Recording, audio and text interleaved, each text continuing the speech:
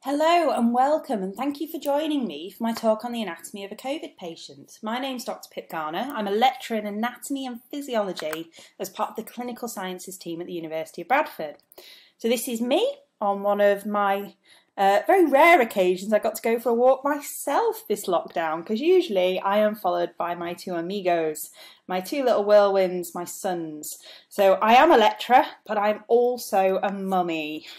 So my talk's about anatomy, but what is the study of anatomy? So, by the wonders of modern technology, I am giving you this talk while simultaneously also manning the chat function. So at any point in this talk, if I ask any questions, you know, you don't have to join in, but if you do want to type anything in the comments box or ask me any questions, then I can answer as we go through that function. So like I say, do you have any ideas of what is anatomy? Maybe a definition or what you think you might study if you're studying anatomy or the kind of words that may come to mind. Give you a couple of seconds.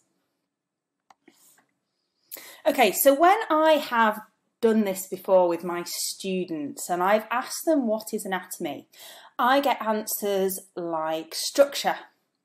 So what what shape something is, how it connects to something else. I might get words like dissection, and that's true. So actually having something like a human body, um, if we want to study the anatomy, we can open it up and have a look. Um, sometimes we just look at the body in pieces. We sometimes don't even look at it all in one go. Um, you may have also given me answers actually naming some of the things we might look at. So bones, I am a huge fan of skeletons. You'll see that as we go through this the beginning of this talk. But also things like organs, heart, brains, we're also going to come across those in this talk. Um, things like blood vessels, again, they feature as well. But also things like nerves. Okay, so you may have thought about all those things. So yes, anatomy is the study of the human body by looking at the structure and understanding the structure in terms of what it does. So structure and function. So really, this talk's going to be anatomy and physiology, which is the fancy science term for thinking about how the body functions. And I'm going to put that in the context of disease and in particular this COVID-19 that we are all very much aware of at the moment. And does anyone know who these two people are? So this individual on the left, this orangey coloured picture, this is an attributed self-portrait. So the clue for this individual is he's also an awesome artist. You will no doubt know some of the pictures he has painted. The gentleman in the middle is lesser known, however, in terms of anatomy and driving forward the rebirth of anatomy that happened in the Renaissance, so about 600 years ago, he's sort of almost more important than Leonardo da Vinci. Um, oh, I've given it away. So yes, the first individual is Leonardo da Vinci. The second individual is Andreas Vesalius, and he is also an amazing artist. So I think this is one of the reasons why I like anatomy because it, it's science combined with art. And these are the kind of images that he produced.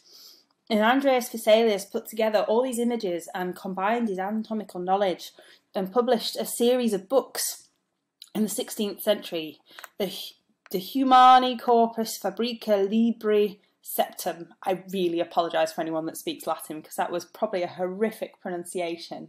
But essentially, these became the, the anatomical sort of textbook for a lot of study of things like medicine for quite a, a while after the Renaissance and really did lay the groundworks for the modern study of anatomy.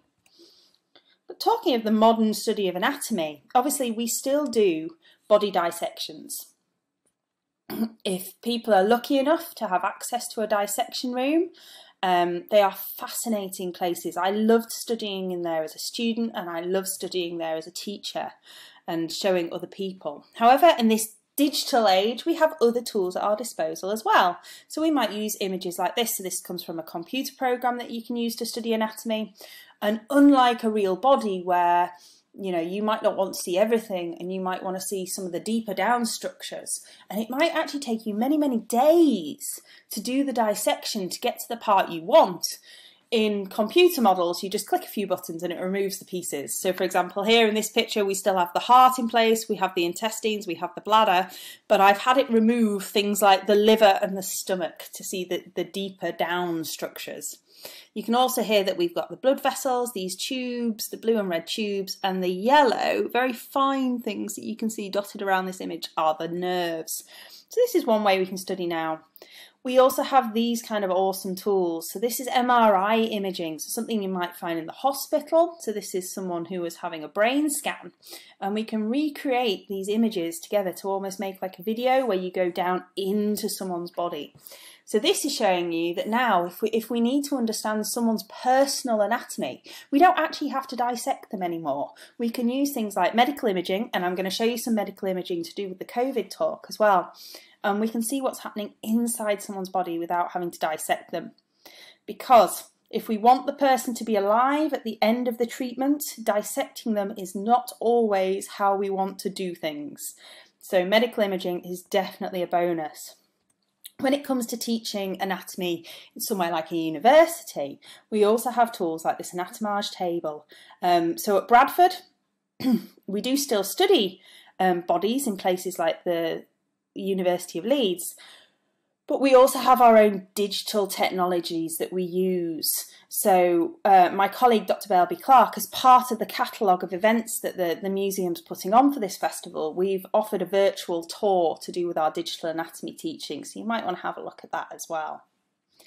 Okay, but I don't think anatomy is just for university. I'm a great believer in studying anatomy and anatomy being for the whole family.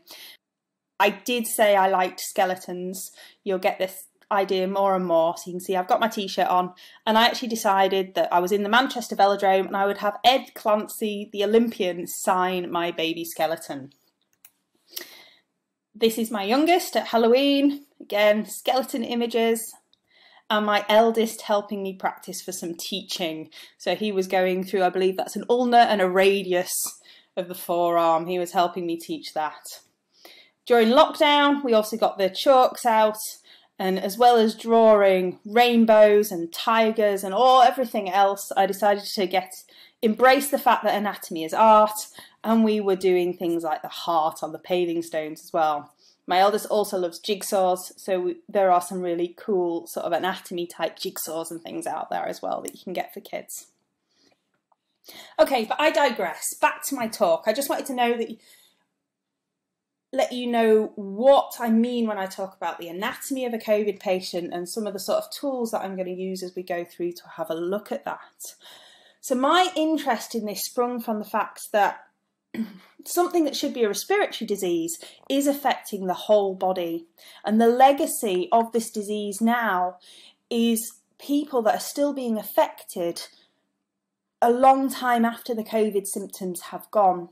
So there's this disease, like I say, it's named, and I'll show you in a minute how, how it's named, for something that should just be affecting the lung, is clearly affecting other body uh, other body organs. And I wanted to know how. How is it, well, how is it affecting, as in what the changes are in someone's body if we have a look, but also begin to look at um, what's going on in terms of the altered function of the body, so what changes have gone on, but also to think about how those people are now being treated, because we didn't expect this respiratory virus to cause such problems. So we have had clinical challenges. So if I put my clinical sciences hat on, as that is the program that I teach on, I'm looking at anatomy and physiology, but thinking about how this person can be treated in the healthcare system that we currently have. So I also want to have a look at some of the unexpected challenges our healthcare system are still trying to meet as well, and also thinking about the legacy. So the the implications moving forward for the treatment of this disease. So the anatomy of a COVID patient. So I'm not looking at one individual patient. However, I have a couple of examples of people I want to show you to sort of really drive home the fact that this is affecting people long term. So I don't know if anyone know who this couple are. So if you want to write in the comments, see if you can guess. She is arguably going to be more famous within the general populace than he is. So she is Kate Garraway. So she's a television presenter on Good Morning Britain. And this is her husband, Derek Draper. He was involved in sort of politics. Um, he's 53 years old, and it's actually him that I want to draw your attention to because in late March, just after lockdown, he sadly was diagnosed with coronavirus and he was rushed into hospital because of the severity of his symptoms. Come early April, he was in the ICU and he was fighting for his life. Um, the decision was taken to put him in a medically induced coma because they thought that was the best way to treat him because so many of his body systems were affected. Now, he was taken out of that coma about 10 weeks later, say about, because I'm, I'm going off a lot of media sources to do this at the moment, and they have slightly conflicting dates and things, especially from between July and now as to what's actually happening with this gentleman. Um, but he was taken out the coma, but sadly he did not start recovering very well. So as of early September, there was lots of media coverage again because it was their anniversary, and he was still in a condition where he was in hospital. He still couldn't particularly talk. And when sort of the, the stories were coming out about the damage that was done to Derek's body, we were looking at MRI showing holes in his heart, his liver was affected his pancreas. Now, that's a, an organ within the, the digestive system that I'm going to show you. It's situated very close to the stomach and it's involved in um, blood sugars. And if your pancreas doesn't function, a certain part of your pancreas, then you can get diabetes. Now, Derek started off with no diabetes and is now expected to be severely diabetic because his pancreas was so dysfunctional, it wasn't working. Um, he also had to spend a lot of time on dialysis while they were treating him as his kidneys stopped working. So, the job of the kidneys is to help filter the blood and take out all the poisons. And if that doesn't happen, you can be put on a machine called a dialysis machine, which will start um, purifying your blood for you his nerves and the neurology of his system, so his brain was also affected. That can be seen by the fact that he was in a medically induced coma, but then when they took him out the coma, he still hasn't recovered fully. Um, like I say, he's not believed to be talking. Okay, so Kate is quoted as saying he has damage everywhere, and some of the doctors were quoted as saying that he's one of the sickest patients to actually survive. But you could say, and this gentleman had no underlying health problems. You could argue he's potentially slightly overweight, and obesity has been seen to be um, more of a risk factor for this disease. But other than that, he shouldn't have been this unwell. But he is a thankfully fairly rare, as in the extreme damage that has been done to his body and his such uncertain recovery pathway. However, someone else that you might know, especially if there's families watching, so Dr. Xander. So this is the gentleman on the left. This is him also in this mask. So he's one of the the, the twin doctors that you that appear on things like Operation Ouch. They are considered friends of the Media Museum, I believe, because last year they did come and run some of the um, half term events that were happening. Um, so he's a real life doctor along with his twin, Chris. And unfortunately, Xander did catch COVID. You know, they were both working on the front line within the NHS. Now, there has been a TV show on the BBC looking at his journey because it's not been smooth sailing. He has been left with some problems with his heart. And actually, this image on the right is when his heartbeat got so erratic, they had to take him into hospital and actually shock him and temporarily stop his heart to see if they could get it working properly. So, for a couple of seconds, he was technically dead to see if they could do this. So, he's someone who's fairly young, prime of life you know, he kept himself fit, he looked after himself. But going forward, he has uncertainty as to what the damage has been done to his heart and what that's going to mean in terms of his fitness. So, this, his circumstance, where he was sick, he was ill, but not life threateningly so. However, he's now over COVID, but moving forward, he has been left with damage to organ systems. And it's these kind of individuals that I'm going to explore the different organs and think about, like I say, the treatments and what that means going forward long term for an awful lot of people that may be in this situation by the end of this pandemic. So, this is the offending article. This is a recreation of what the coronavirus, this particular coronavirus, looks like. Now, it is in a family of coronaviruses. There, it's quite an extensive family. However, there's eight that we know have jumped from animals to being able to affect humans. And I'm going to show you that in the next slide.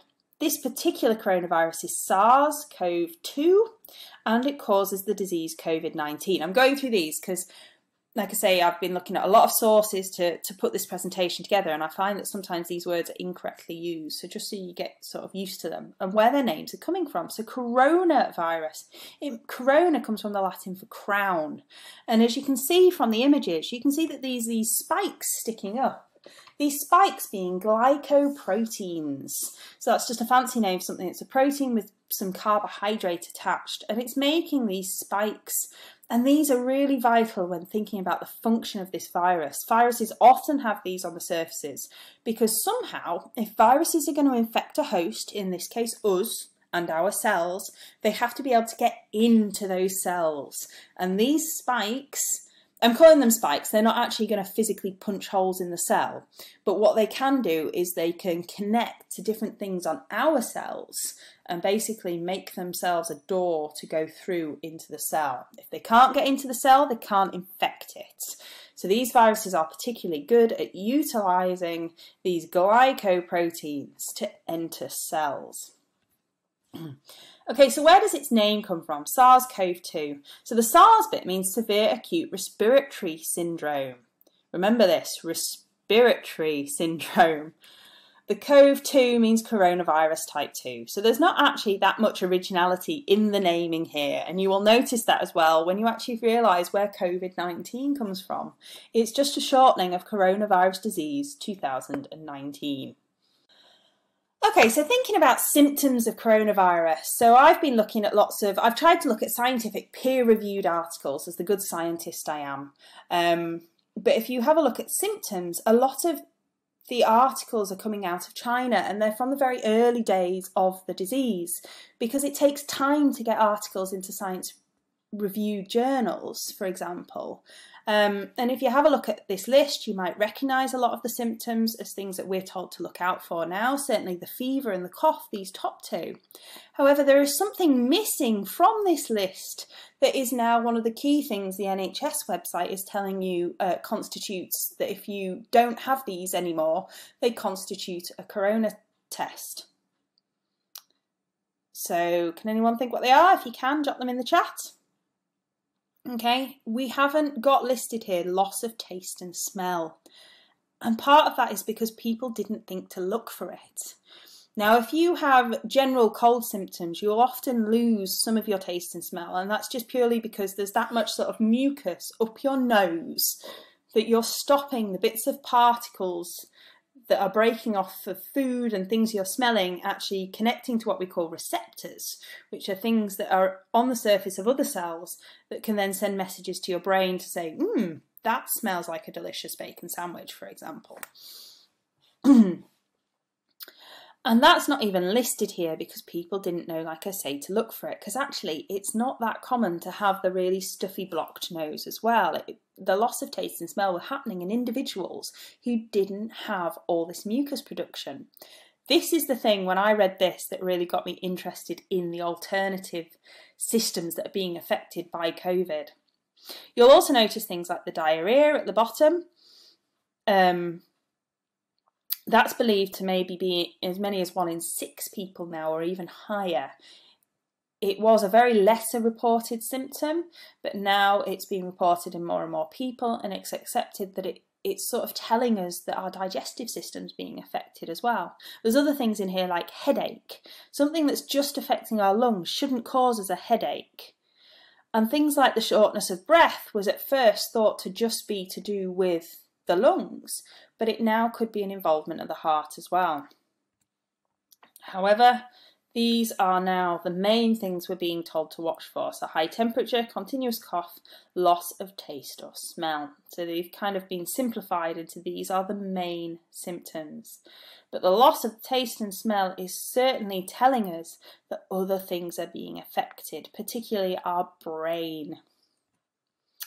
So, moving forward, what would I like to look at? Like I say, I want to look at some other organ systems, what's being affected, how they're being affected in terms of what's changing within them, and trying to be a bit of a detective to figure out what on earth's going on and how is something that's it's fundamentally called SARS severe acute respiratory. Remember, respiratory is to do with the lungs. So, how's it affecting everything else? So, I'm not really going to talk about the lungs. I'm going to talk about things like the heart, the brain, and other organs. And, like I say, I'm always keeping an eye because, like I say, I wear that clinical sciences hat as well thinking about the treatment of these people and the extra challenges that this is causing to our medical system. So, moving forward, there are some anatomical images of real human tissue. Um, that was kind of almost expected within anatomy talk. I'd like to think that the pictures aren't gross because um, actually, when you look at real human tissue in the way that we do in anatomy, um, it's not all bloody and gory and things. So hopefully they'll be okay for everyone, but that's just a little bit of a warning. Okay, so the heart. So this is a very textbook picture of what you'd see of the heart. The heart essentially is made of four chambers, two at the top, two at the bottom. Because the heart is, anyone know what the heart's role is? It is stick it in the function. What does the heart do? You may know it's to do with the blood and it pumps the blood. Okay, the heart is our internal pump that is sending blood all the way around our body. But you may or may not know that it does that in sort of two circuits. So one circuit that the right hand side here is involved in, and one circuit that the left hand side here is involved in. So the right hand side is responsible for collecting the blood that has very little oxygen left because the oxygen has been used up by the rest of our body. It's pumped through this one-way system. These are actually valves. So if you've heard of heart valves, this is what they're kind of looking at, and their job is to make sure the blood goes in the right direction into the right ventricle. And then when the heart pumps, it's going to send it up and out this pulmonary artery to the lungs. And on the left hand side, once this blood's gone all the way up to the lungs, obviously the lungs is where our body takes in oxygen and gets rid of carbon dioxide. So that carbon dioxide is coming out of our blood as well.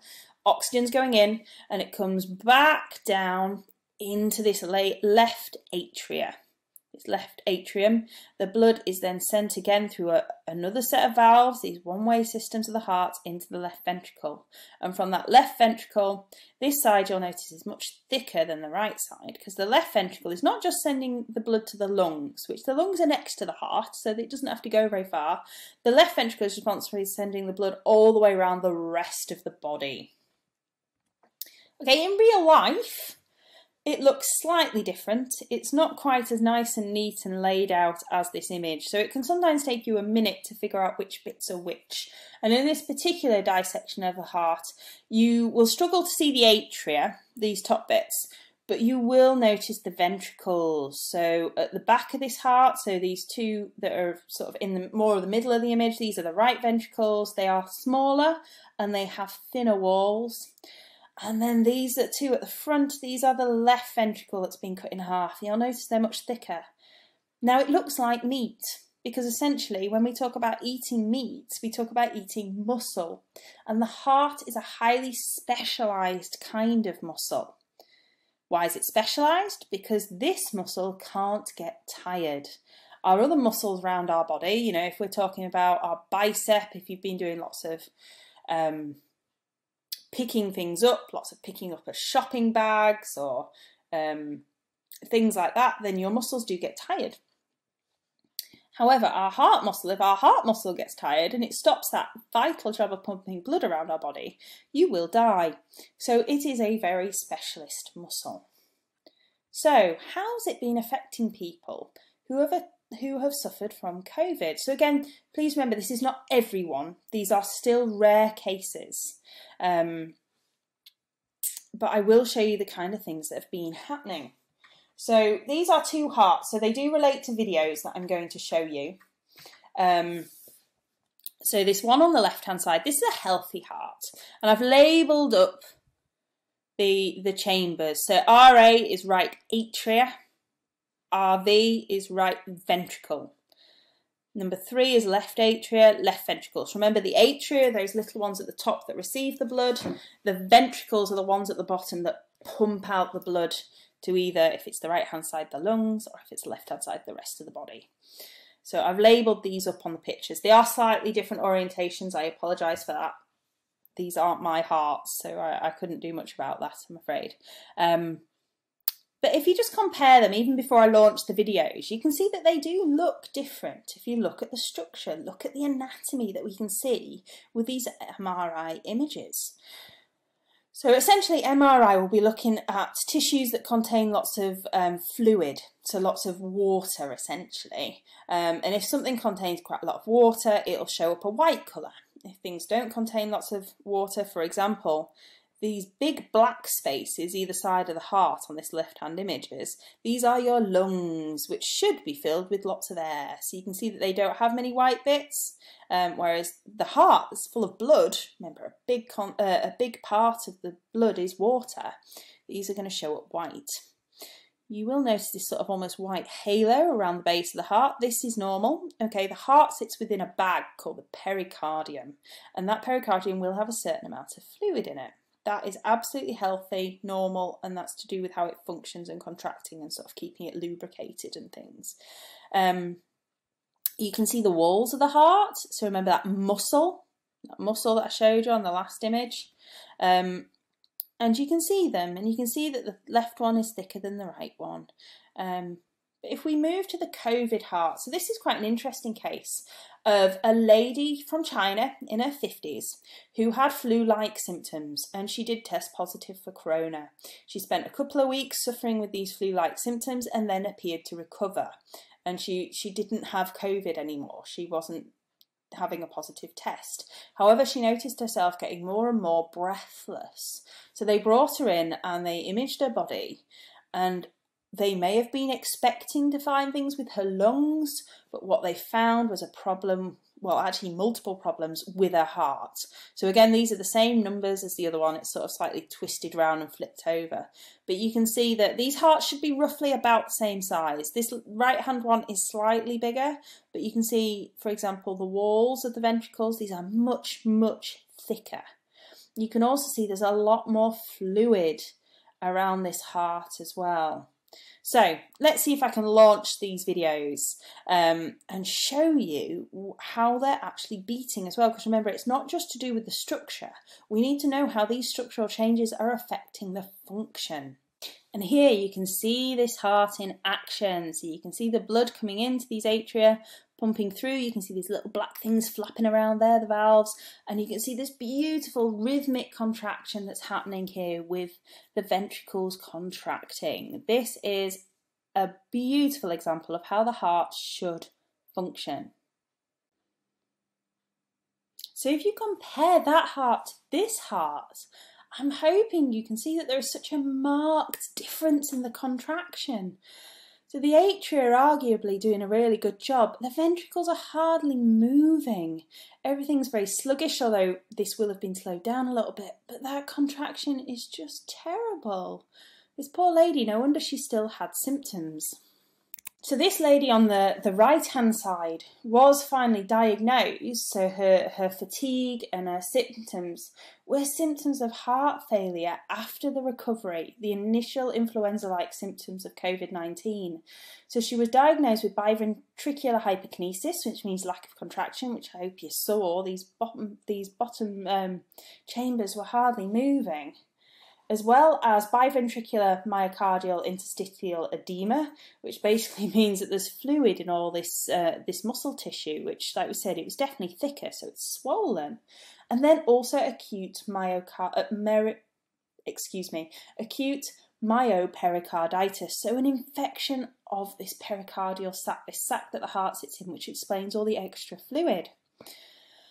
So, if we have individuals like this who are, are getting symptoms of fatigue and breathlessness and things like that, as a doctor, you've got to realise that it might not just be the lungs, and you have to bear in mind that individuals' hearts may be affected. And particularly if you've suffered with this already, you supposedly have recovered, and then you're having to go back to your GP and say, I've still got symptoms, your GP needs to make sure these things are being picked up and think about how to to maybe treat someone that's then going to have heart problems for an indeterminate amount of time. If you think about Dr. Xander, he's now got heart problems and they're not quite sure where and how they are going to sort of treat these hearts going forward. Okay, so the kidney. The kidney is another organ that's affected. Um, so this is an anatomical picture of a kidney. So this is a kidney that's been sliced in half. And anyone know what the role of the kidney is? Kind of already said it earlier on, but just to remind you, see who was listening. Okay, we're filtering the blood with the kidney, and it does that on a very microscopic level. So we have this cortex, this outer layer of kidney, and then we have the medulla of the kidney, and we have what we call pyramids, which you can't really see, but there are triangles going on in here. And basically, these are all specialist collection systems that are happening to, on the microscopic level, filter out our blood. So this is the microscopic level. So it takes an awful lot of blood, or we have a really big blood supply, I should say, that we're doing this with. So acute kidney damage is reported in 30% of people that are hospitalised with um, COVID and that rises to 50% of people if you're an ICU patient, and maybe 5 to 10% of these need dialysis. So that's that machine that they're plugged into that will help filter their blood. And you don't normally, if you're having to have dialysis, that's not just a one off, it's something that you're having to have every couple of days. Now, one of the challenges that I'll go into a little bit uh, in a in a few slides' time is that wasn't expected in the ICU. They were expecting to need lots of oxygen, but weren't expecting to need lots of dialysis machines. People are also having high levels of protein in their urine, so when they're doing the blood work on these patients that are in hospital, it's coming back that's high levels of molecules called proteins, and this is also indicative of um, there being damage significant damage being caused. So, comorbidities. So, you may have heard of these term comorbidities, and people with comorbidities needed to shield. And so, basically, it just means people with other disorders. If they catch COVID, they can often have worse outcomes or they can be poorlier with it. So, one of the things that um, was classed as comorbidity was diabetes. And whereas I said that the pancreas is an organ that's associated with diabetes, the the kidneys are also a key organ when thinking about diabetes because diabetes can lead to kidney uh, kidney damage anyway. So if you are someone with diabetes, your kidneys may already have a certain amount of damage. So if you're then catching COVID, um, you are at risk of your kidneys suffering further damage and making you incredibly poorly. Um, people also with hypertension. So, anyone know what hypertension is the fancy term for? Blood pressure, or I should say high blood pressure. So it tends to be adults, tends to be older adults. You can often suffer from high blood pressure. And this has also been something that people have said, you know, be wary of. If you have high blood pressure and you catch this particular coronavirus, you may suffer quite badly. And again, one of the reasons is because of the kidneys. So the kidneys, so high, high blood pressure, because there is such this extensive blood supply of the kidney, and this apparatus is all very, very um, delicate. High blood pressure can damage them. So you can already have damaged kidneys, and then you get a virus that potentially might damage the kidneys further. Okay, so the brain. So the brain is considered to be an organ um, that is now being affected by COVID. Like I say, going back to that loss of taste and smell, that was when people kind of realised, oh, well, if they haven't got all this mucus production, taste and smell is controlled and interpreted by the brain, so it might mean this virus is actually affecting the brain. And we've since realised that it's not just the brain, but it can also be affecting the entire nervous system. Now this image on the left is a, uh, is a central nervous system, so this spinal cord and the brain and the peripheral nervous system. So this is one of these awesome images done by Gunther von Hagens as part of the Body Worlds display. So this essentially is all your nerves coming down from the central spinal cord and you can almost see how it maps onto the body. You can see that these nerves down here will be going down your arms. These long nerves down here will be going down your legs. These nerves that are coming out here and then stopping, these are what's um, either sending signals to or receiving signals from your sort of stomach and your abdomen area. So the nervous system looks pretty awesome. But yes, we know that it's being affected by COVID. So this image here is showing you one way of that, and that's that people are um, reporting strokes. So we believe up to 6% of people are suffering forms of strokes because of COVID, and that's believed to be for two specific reasons that I'm going to go into in a little bit. But just remember a stroke. And what a stroke is, is where you've got a burst blood vessel in the brain. That blood is carrying oxygen. And if that oxygen isn't getting to parts of the brain, you start suffering symptoms. For example, slurred speech if it's uh, affecting an area that would normally be in charge of your speech, or you get um, muscle weaknesses, for example. But other things that are showing us that the, the brain is being affected is things like headaches, dizziness, decreased alertness, difficulty concentrating, the loss of taste and smell. Some people are suffering seizures, weakness and muscle pain. So the delirium, where people are getting very confused, is believed to be in as much as 10% of patients. So the loss of taste and smell. So this is a dissected head. So this is if someone's head's been sectioned to make a left half and a right half and then turn sideways for us to see inside. Now the surface of the brain I'm going to show you is where this red line is and this is called the ventral surface. So this is here. And these arrows are all pointing to bits that are coming off the brain. These are called cranial nerves, and we have 12 sets of cranial nerves. When I studied head and neck anatomy, these cranial nerves were the bane of my life. I used to always get them confused and mixed up on what they did, and I'm still not a massive fan of them. Um, but in this circumstance, the one I want you to look at is this big thick arrow at the top, and this is something called the olfactory bulb. Now, anything that's called olfactory is to do with smell. And now this isn't one of these nerves per se.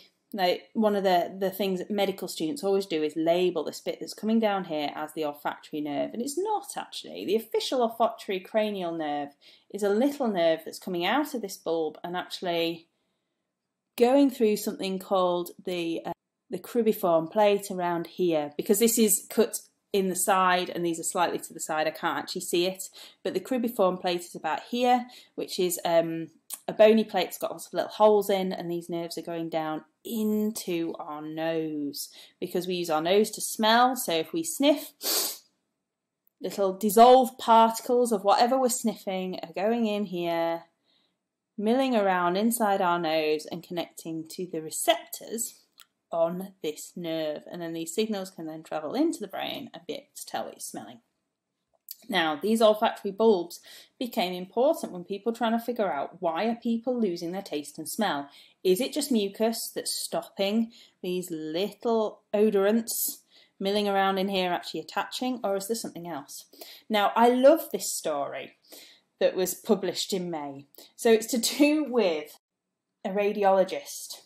Okay, so someone that's going to be in charge of taking these images got coronavirus and they lost their sense of taste and smell. So they actually scanned them. And what they found was that these olfactory bulbs were enlarged. Okay, they did appear to be having oedemas, which is where a buildup of fluid. So you could see that this image on the left is someone that's lacking smell, and this image on the right is someone with normal smell. And you can see that there is a difference. So suddenly everyone went, oh, not only is the brain affected, but it's actually it's changing the brain, it's altering the anatomy. And again, we don't know for how long for. I have friends that they weren't officially tested as having COVID, but they lost their taste and smell in the fir- within the first couple of weeks of lockdown. Before again, it was really publicised that that was one of the key features, and they definitely got flu-like symptoms. So we, they are living life assuming they've had COVID, and they still don't have their proper taste and smell back. And that was like five, six months ago. Although to be fair, if you're going to have chronic symptoms that last the loss of taste and smell could be arguably um, less severe than something like the heart problems, but it is still going to affect your life. And I know when I gave this talk to some school children a few weeks ago, someone said, Oh, this is me. I lost my taste and smell. I've had COVID. How can they treat it? And when am I going to get my smell back? And I had to say, I don't know, because I don't honestly think people know how to treat this. They don't know what to do about these edemas, and they don't even know why these edemas, so this uh, gathering of fluid in these olfactory bulbs, why these this is causing problems. So it is just a case of seeing how things go, and we fingers crossed that people will recover within time. Okay, so the, one of the next systems, the digestive system.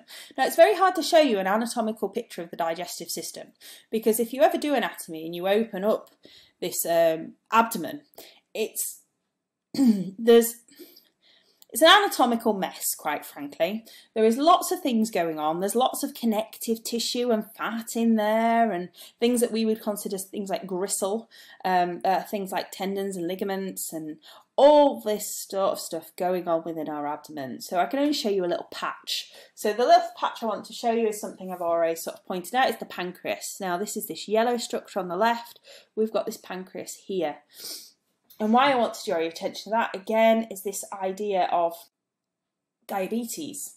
That diabetes is one of these comorbidities. So, one of these things that if you have diabetes, you are probably asked to shield because we don't, you are more likely to have COVID quite severely if you catch it.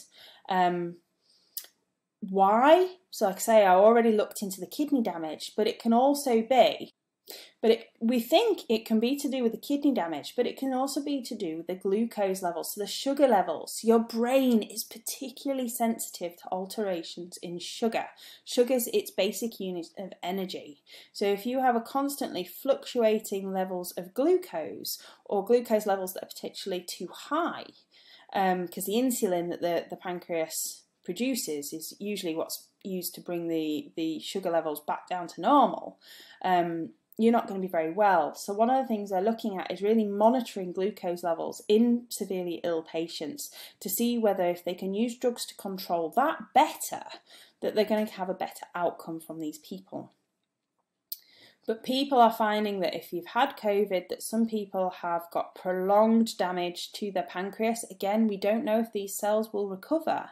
So you might not have diabetes, you might suffer from COVID, be very poorly, and actually be left with diabetes afterwards. Okay, so this organ. Does anyone know what this organ is? So, I, after studying anatomy for, I've studied anatomy for about 18 years, it was only sort of almost four years ago that I first came face to face with this organ. Now, I'd pretty much say I've seen every other organ of the body multiple times up to this point. Anyone know what it is? It's a placenta. Okay, and the reason why I'd never seen it is because when you study anatomy, and you study anatomy on real bodies, the bodies tend to be elderly people that have donated their body to medical sciences. And after you've had a baby, you don't retain the placenta. It comes out in what we call the afterbirth. So I never saw one until I'd given birth to my eldest son almost four years ago, and I actually asked the midwives if I could look at it because they have to go through anatomical checks on the placentas as part of the birth progress. Uh, birth process to make sure that some haven't stayed inside or it's not uh, uh, abnormal. And they thought I was very high on drugs until I pointed out that I'm, I teach anatomy and I'd never seen it before. So they actually showed me all the checks and stuff. It was fascinating. However, so what does the placenta do? So it's the first organ to form in fetal development. So, so when the baby's developing, it's the first thing that forms, and it really does act as the fetus's not only lungs. You might know that it's through the placenta that they they get oxygen and they um, send back carbon dioxide. So it's not only providing what the body need uh, baby needs, but it's taking away what the body doesn't uh, what the baby doesn't need anymore. But it's also it acts like its gut. So we're talking about glucose and sugars and nutrients and things like that passing over as well. It'll also clean the blood, so it acts like the kidneys for the baby. So the placenta is also responsible for many of the hormonal changes. And often the placenta allows a pathologist to look at what the overall general health of the mother has been sort of throughout the pregnancy. Um, because you can see changes within the placenta. Um, and these changes become more evident, for example, when the placenta is older. So it's one of the reasons why they don't like women necessarily going too far over their due date because they worry about the fact that these changes will start affecting the placenta more and more. So there has been a few studies looking at the placenta to do with pregnant women and the effect that COVID has had on their pregnancies. So these are so this study that I've been looking at was to do with um, 16 placentas of women who caught COVID during their pregnancies. Now, those 16 placentas came from 15 babies that had been born live and one unfortunate miscarriage. So the placenta needs patients have two common abnormalities. Now, they did pick up abnormalities. One was insufficient blood flow from the mother to the fetus. Um, with abnormal blood vessels that we call maternal vascular malperfusion, and also blood clots were found. Now, we don't know whether these changes, we believe these changes do with the immune response of having COVID. Um, the blood clots could be something else that I'm going to go on to, but we don't know whether these changes in the placentas have had an effect on the babies. That's the thing. Even the baby that unfortunately didn't survive, we cannot categorically say it was because they had COVID. Um, but it is another medical challenge to think about. You know, should women who have had COVID, who are pregnant, be offered extra scans? Should they be looked at more carefully? And if they are, how are we going to resource that? There's only a certain amount of resources and a certain amount of scanning. You know, if you're bringing women in, even though they've had COVID, there's a chance that they might be passing the virus back to um, other family members, for example. So it's just another challenge to think about how we sort of monitor women that have um, caught COVID, but we don't know how much of a difference it makes. That's the thing. So, what's going on here? So, we've got all these multiple organs that have been affected heart, kidney, brain, uh, nervous system, digestive system, including the pancreas, placenta. So, what links them all together? One of the things is blood. So, like I say, one of those comorbidities was high blood pressure. So, the virus is clearly doing something around high blood pressure because you're more likely to have be very very poorly if you catch if you've got high blood pressure if you catch covid. The other thing that's happening is blood clots. Remember back to those placentas i was saying they were finding blood clots? There's there's a theory that the virus is causing damage to the blood vessel walls um, and they are clotting as they should, but then those clots are breaking off and doing damage. So again, when we said about the kidneys, one of the other things that were being found within the kidney were blood clots were being found in the kidneys that were blocking up their sort of um, the mechanics within the kidney and how they were filtering the blood as well. So what's happening? Okay, one of the things that's causing people to be so poorly is this little molecule. This is a cytokine. So what's on earth does cytokine mean? So cytokine, cyto from the Latin of cell and kine from the Latin of movement. And they're small proteins which are involved in just the normal inflammatory response. However, in COVID, they seem to get out of control.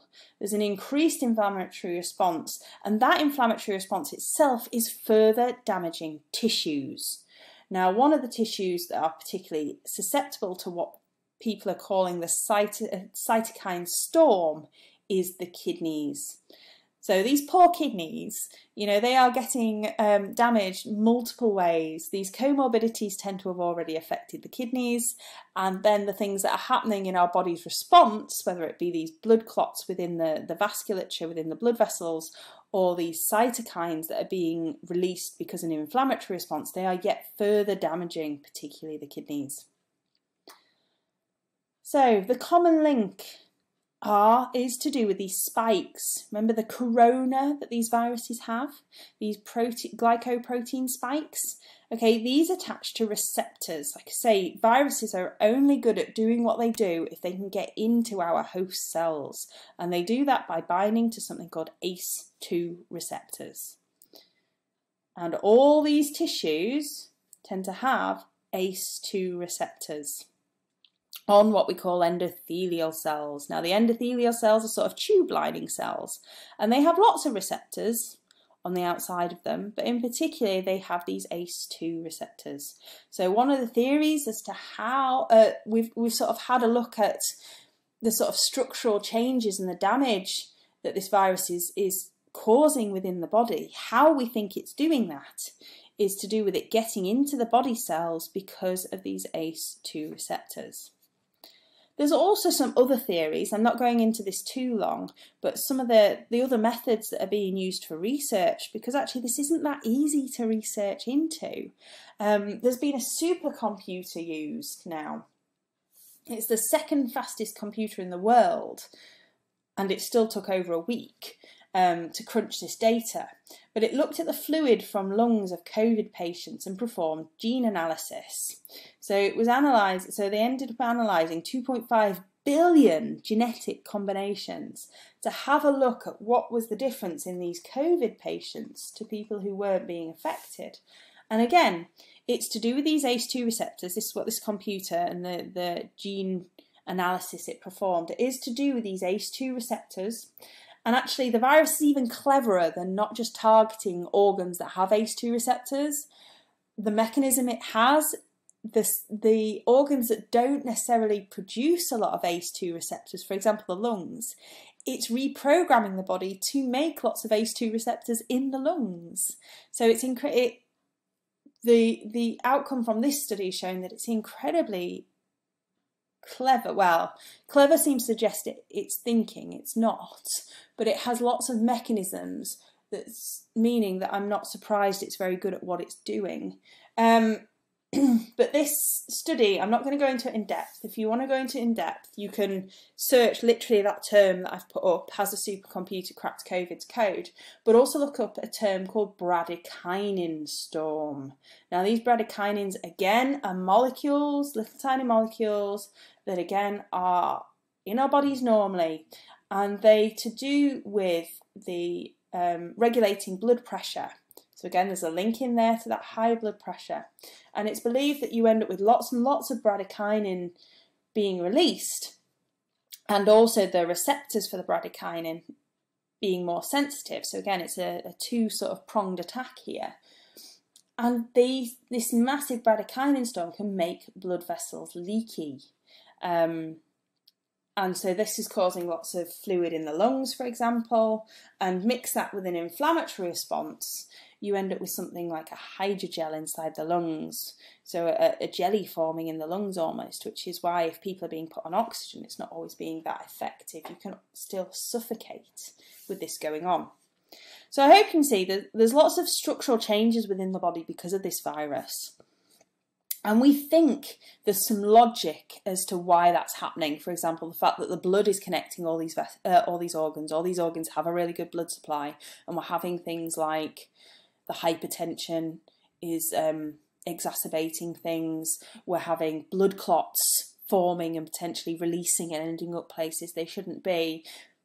This theory of the bradykinin storm is the fact that blood vessels are getting super leaky as well. So this is why these patients are ending up with lots and lots of problems and that these problems are not necessarily going away for every patient. I don't want to scare you into thinking that, you know, previously you just wanted to survive COVID and now you realise there's going to be all these other problems. Not everyone gets these. But again, it's keeping track of the people who do. We don't have figures as to everyone who's been affected and who have still got problems ongoing. So, like I say, with my clinical sciences hat on, I just want to draw your attention to a couple of unexpected clinical challenges that this threw up. So, one of them I've always uh, already alluded to, which is the fact that we got critical shortage of the dialysis machines and also the sterile fluids that are needed. Now, this was highlighted in early April, and a few weeks later, this was still a problem. And because of the level of kidney damage that patients have sustained, I suspect that careful management of dialysis machines and things like the fluids that are needed are going to be an ongoing issue. One of the things that we did realise was going to be a problem was oxygen, that we needed lots and lots of oxygen and ventilator machines. It has actually turned out that doing oxygen therapy with patients earlier might actually be more effective than the ventilators. So, the ventilators being the things that mechanically breathe for us. Um, but one of the things that wasn't expected was the fact that the, the infrastructure of the hospitals was not sufficient um, in terms of the size of pipes. So oxygen needs being piped into the wards. You don't each have a little oxygen canister under your bed. But this oxygen was being piped in, but the pipes weren't big enough.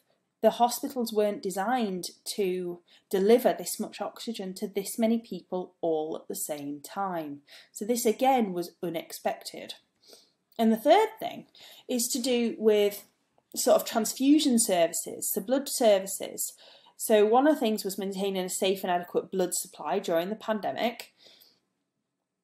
So people weren't going to give blood because it was dangerous. We were shielding. However, we still needed blood, and this had to sort of be balanced. So one of the things that was put in place to balance this was um, and sort of mitigate against it was that a lot of uh, non-emergency surgeries were cancelled. So they were they were balancing that um, to ensure undisrupted supplies. There was lots of increasing uh, communication within the service, etc. However, then we throw in the fact that actually one of the therapies that look like they, it is making a difference is to do with convalescent plasma. Woohoo! You know, there's a therapy that's helping. Brilliant. But it's the same service that's having to help. It's people having to donate plasma. So, plasma is the liquid component of your blood. So, you don't actually have to take out all the blood and then just take out the plasma.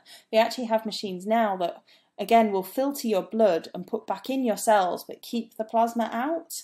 Um, and there's people that have contracted covid that are now doing this convalescent plasma donation but it's one of those things where this service is really on a knife edge of trying to manage and not put all its staff at risk, not put donors at risk, but then also trying to meet this supply because now surgeries are beginning to go ahead, but also making sure that there's enough resources to mean that the, the research into this convalescent plasma can go ahead. Okay, so what's the legacy going forward? Now, in Bradford, something's been set up called the Bradford Survivor Clinic. This came about because there were lots of GPs having to see patients who have recovered from COVID but were still suffering from significant symptoms. So, this gentleman, he's um, so within the sort of Bradford University and the Bradford Institute of Health and Research, he's very well known. This is Professor John Wright, and he's a doctor and epidemiologist. And he talked to the BBC in this article that I've put down at the bottom about this legacy and brought up the presence of the fact that this Bradford Survivor Clinic has had to be set up. So the gentleman in this second image, this is Dr. Paul Whitaker, and he set up this clinic, and he said he did it because of GPs having all these phone calls about persistent um, and chronic becoming, becoming chronic symptoms of survivors. So the two women I want to draw your attention to now is this lady on the stairs and this lady here, this second one from the left. And these are um, NHS workers. The lady on the stairs is a GP, the lady at the bottom is a physio, and they caught COVID and still months afterwards are suffering. So the lady here, this is normally what she does. So she does CrossFit. She's incredibly fit and active. However, these two individuals, still months after, are suffering from headaches, sore throats. Um, sorry, that's what they they contracted. You know, these weren't individuals that were hospitalised. These are the kind of symptoms they started off with. Um, And now their norm is the fact that if they walk up the stairs, their heart rate's shooting up to the sort of level you'd expect if they were doing a big, massive gym workout. But also things like memory loss is a problem, particularly for the this physio lady down here. Memory loss and things like anxiety. So this is going to be the legacy moving forward that we're potentially going to have to set up these survivor clinics all around the country to help people that have fought off COVID but have suffered potentially one of the anatomical differences that I've shown you and organs have been affected. Okay, so I hope that's shown you some of the anatomy of a COVID patient, so some of the structures that have changed within the body of the different organ systems, what that means in terms of their function, and tried to sort of introduce you to why this might be happening, although there's not lots of answers right now, but also giving you an insight into the challenges that this is that our medical system, so the doctors and the nurses and the people treating these people, are going to face not only short term, but potentially for a long time to come. Okay, thank you very much. If you have any questions, please feel free to put them in the comments and I will do my best to answer. Okay, thank you.